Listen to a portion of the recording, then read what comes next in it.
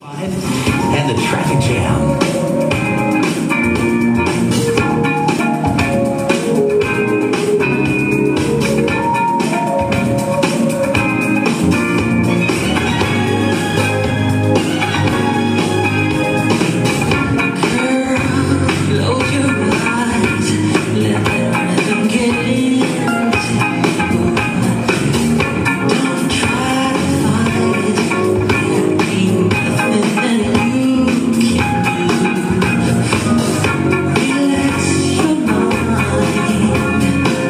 Rockwood Shield, Michael Jackson with Beat 94.5 and the traffic jam.